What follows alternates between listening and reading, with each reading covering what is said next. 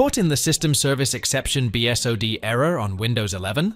I'll share a fix to resolve this issue. Stay tuned for a quick solution to keep your system running smoothly.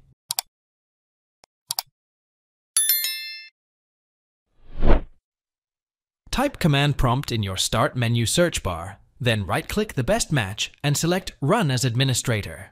Then, key in the following code and press Enter. The command will scan your system for errors and fix any issues along the way. Restart your device and check whether the issue has been resolved.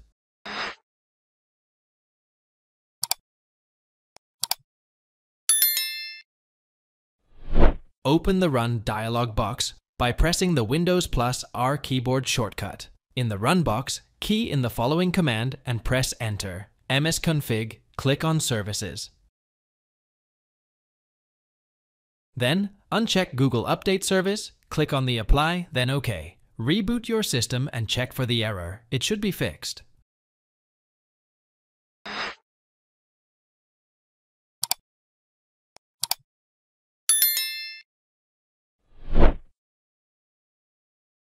Right-click on the Start button and choose Command Prompt, Admin.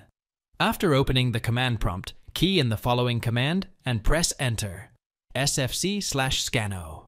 This will scan the system files and all the errors get fixed automatically.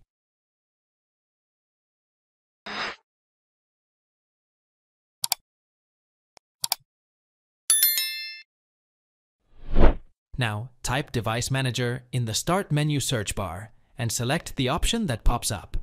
Scroll down the list and check for an error symbol. If there is nothing, your driver status is likely not the source of the issue. If there is a yellow alert symbol, open the section using the drop-down arrow, then right-click the problem driver and select Update Driver. Select Search automatically for updated driver software to let Windows automate the update process for you. Choose Update Drive then, reboot your device, and check if the problem has been resolved. R for GPU. Thanks for watching. Hope this helped. If so, hit like and subscribe for more content.